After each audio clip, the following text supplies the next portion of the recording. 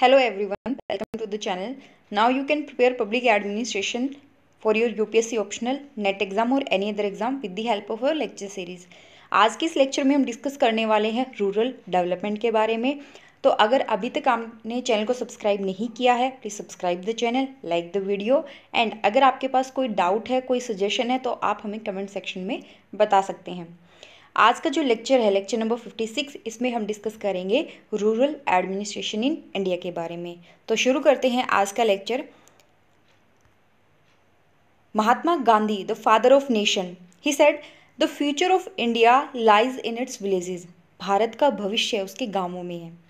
2011 के सेंसस के according there are around six lakh forty thousand eight hundred and sixty seven villages और इन villages का administration smooth और एफिशिएंट होना ज़रूरी है बिकॉज़ जो रूरल पॉपुलेशन है वो बहुत ज़्यादा है and villages have their unique set of problems उसके अलावा उनको स्पेशल काइंड ऑफ़ गाइडेंस की ज़रूरत है, ताकि वो इन प्रॉब्लम से ईजिली डील कर सकें। In villages they are some people in charge of rural administration in India और वो लोग कौन हैं, वो हम आगे आने वाले लेक्चर्स के अंदर देखेंगे। Rural development India after independence welfare state रहा है। India has been a welfare state since ever her independence जितने भी पॉलिसीज़ प्रोग्राम बनाए गए, उनका एक ही मोटिव था और वो था रूरल पॉवर्टी को ख़त्म करना। इंडिया ने प्लान डेवलपमेंट की। एज यू नो कि इंडिया ने आफ्टर इंडिपेंडेंस जो डेवलपमेंट का सोचा, वो प्लान डेवलपमेंट का सोचा था और उन्होंने इसीलिए फाइव ईयर प्लान्स भी लेकर के आए वो। और उन सारे प्लान्स और पॉलिसी प्रोग्राम जो कुछ भी आप देख लो, सबका एक प्राइम ऑब्जेक्टिव आपको मिलेगा alleviation of rural poverty rural development का मतलब क्या है? सिर्फ़ उनकी इकोनॉमिक बेटरमेंट ही नहीं, बल्कि जो सोशल ट्रांसफॉर्मेशन है सोसाइटी का जो चेंज है सोसाइटी में चेंज लाना भी रूरल डेवलपमेंट का ही हिस्सा है। So rural development implies both the economic betterment as well as the greater social transformation 1952 thirty first March 1952 में एक ऑर्गेनाइजेशन बनाया गया था community project administration under the planning commission और उसका मेन काम था to administer the programme relating to community development 1974 में department of rural development create किया गया under the ministry of food and agriculture after five year on अगस्त 18 1979 में department of rural development को ministry का स्टेटस दे दिया गया था। बाद में ये बन गया मिनिस्ट्री ऑफ़ रूरल डेवलपमेंट और अब जितने भी डेवलपमेंट से रिलेटेड काम होते हैं रूरल एरिया के डेवलपमेंट से रिलेटेड जितने भी काम होते हैं वो mainly ministry of rural development ही देखती है। Now, this ministry has been acting as a catalyst affecting the change in rural areas through the implementation of wide spectrum of program which are aimed at. अब ये ध्यान रखिए कि जो ministry है ministry of rural development ये बहुत सारे एरियाज़ पे फोकस कर रही है ताकि रूरल एरिया में डेवलपमेंट को लाया जा सके। और वो क्या क्या उनके फोकस एरिया हैं? पोवर्टी को एलिवेट करना एम्प्लॉयमेंट जनरेट करना इंफ्रास्ट्रक्चर बिल्ड करना और सोशल सिक्योरिटी ये मेन ऑब्जेक्टिव है जिनके लिए ये मिनिस्ट्री काम कर रही है.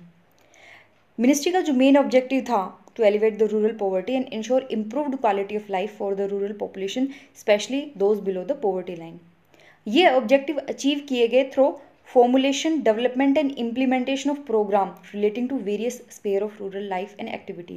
अगर आप आज के दिन देखोगे तो आपको रूरल डेवलपमेंट में ऑलमोस्ट जितने भी उनके लाइफ से रिलेटेड स्पेयर्स हैं चाहे वो एम्प्लॉयमेंट हो चाहे वो इंफ्रास्ट्रक्चर हो चाहे वो सोशल सिक्योरिटी ऑलमोस्ट हर एरिया के लिए कोई ना कोई पॉलिसी या प्रोग्राम आपको मिल जाएगा। ठीक है? To greater to impart greater momentum to the effort of in this sector the government has launch the Pradhan Mantri Gramodaya Yojana government ने एक स्कीम चलाई थी, प्रधानमंत्री ग्रामोदय योजना, और इसका जो एडमिनिस्ट्रेशन का काम था वो दिया गया था मिनिस्ट्री ऑफ़ रूरल डेवलपमेंट को। इसमें drinking water housing rural road ये सारे के सारे कंपोनेंट पे फोकस किया गया था। इसके अलावा लोकल जो पीपल हैं, उनकी नीड्स और एस्पिरेशन को ध्यान में रखते हुए पंचायती राज इंस्टीट्यूशंस बनाए गए। सेवेंटी थर्ड कॉन्स्टिट्यूशनल अमेंडमेंट लाया गया। Right right? These institutions constitute the core of decentralized development of planning and its implementation. जो मिनिस्ट्री है ministry of rural development is vigorously pursuing the state governments for expeditious devolution of requisite administrative and financial power to PRIs as envisaged under the 73rd Amendment Act of the Constitution of India.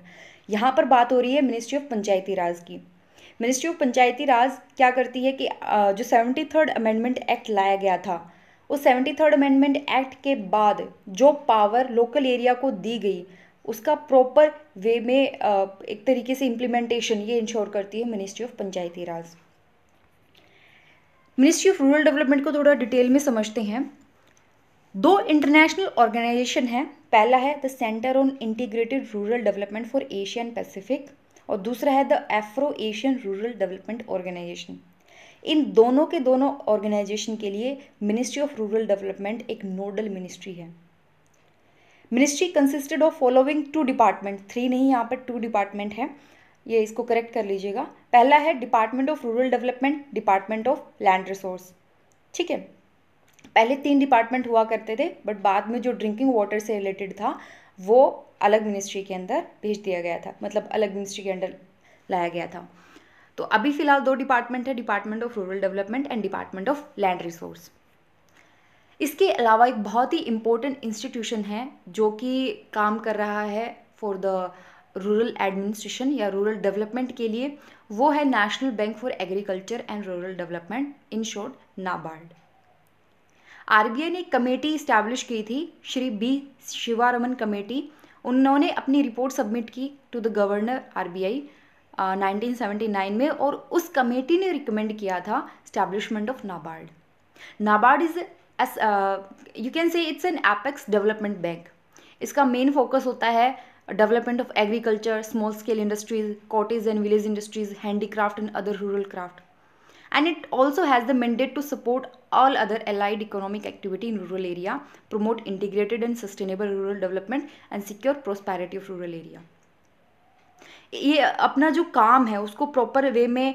आ, एक तरीके से करने के लिए नाबार्ड क्या करता है? It provide refinance to the lending institutions in rural area जो इंस्टीट्यूशन रूरल एरिया के अंदर क्रेडिट प्रोवाइड करते हैं उनको रीफाइनेंस करने का काम भी किसका है? नाबार्ड का। Other than that bringing about और promoting institutional development and evaluating monitoring and inspecting the client में। तो नाबार्ड भी काफ़ी इंपॉर्टेंट एजेंसी है, जो रूरल डेवलपमेंट में काम करती है। इसके अलावा है एक council for advancement of people's action and rural technology ठीक है? C A P A R T आपको पता होगा कि जो वॉलेंट्री सेक्टर है एनजीओ वगैरह, ये काफ़ी इंपॉर्टेंट रोल प्ले करते हैं in the rural development how by mobilising community and catalysing people's initiative for change and direct implementation of interventions around specific issue पहली चीज़ तो ये कि ये लोगों को मोबिलाइज करने का काम करते हैं वॉल्ट्री सेक्टर और दूसरा, ये इम्प्लीमेंटेशन यहाँ पर डायरेक्ट इम्प्लीमेंटेशन होती है। ठीक है? डायरेक्ट इम्प्लीमेंटेशन किसकी? इंटरवेंशंस अराउंड स्पेसिफिक इशू ये टारगेट करते हैं लोगों को डायरेक्टली ताकि उनके अंदर चेंज आ सके, उनको मोबिलाइज किया जा सके।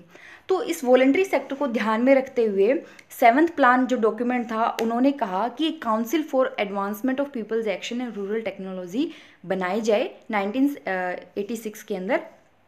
और इस एजेंसी को नोडल एजेंसी बना दिया जाए for catalysing and coordinating the emerging partnership between voluntary organisation and government ताकि रूरल एरिया के अंदर जो डेवलपमेंट हो रही है, वो सस्टेनेबल डेवलपमेंट हो। सिर्फ़ टॉप डाउन अप्रोच ना हो कि गवर्नमेंट ने डेवलपमेंट की और लोगों ने इजीली या कह सकते हैं पैसिवली उसको एक्सेप्ट कर लिया।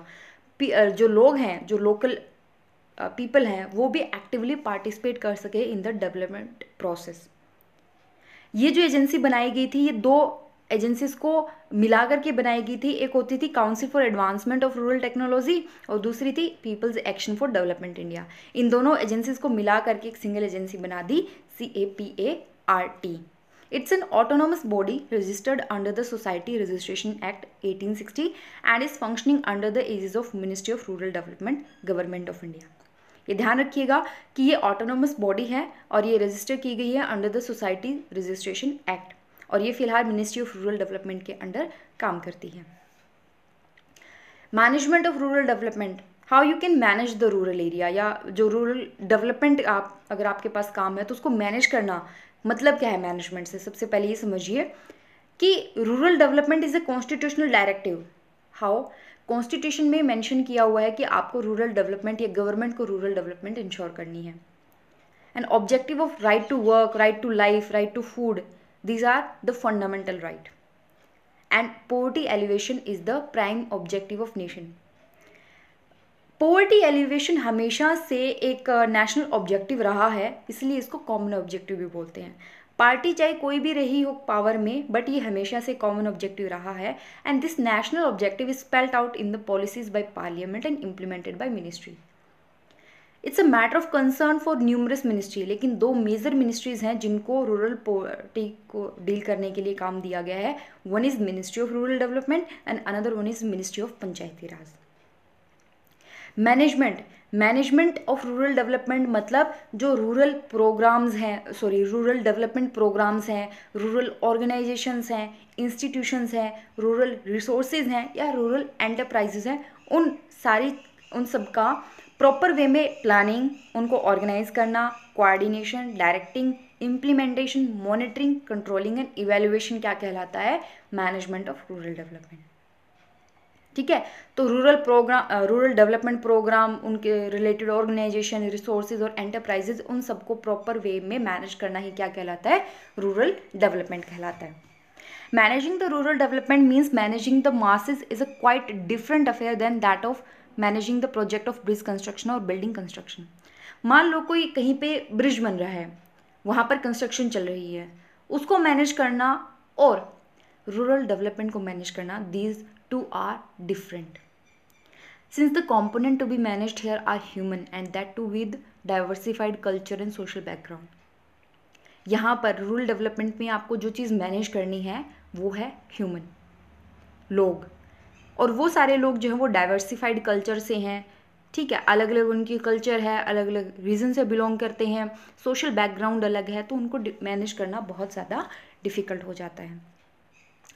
Rural development affair there is a huge size diversify, diversity and relatively high dependence on uncontrollable natural factor and unorganized nature of rural sector जो रूरल एरिया में लोग रहते हैं उनका मेन ऑक्यूपेशन आपको मिलेगा देखने को एग्रीकल्चर और एग्रीकल्चर जो है वो नेचुरल फैक्टर पे डिपेंड होती है क्या कहा जाता है कि जो मॉनसून है इंडिया में monsoon is the real finance minister वही कंट्री का बजट डिसाइड करता है कि अगर मानसून अच्छा होगा तो एग्रीकल्चर अच्छी होगी ओवरऑल सारी की सारी इकोनॉमी ग्रो करेगी और अगर मानसून अच्छा नहीं हुआ तो उसका इम्पैक्ट आपको पूरी इकोनॉमी पे देखने को मिलेगा। और इसीलिए मानसून को रियल फाइनेंस मिनिस्ट्री भी कहा जाता है।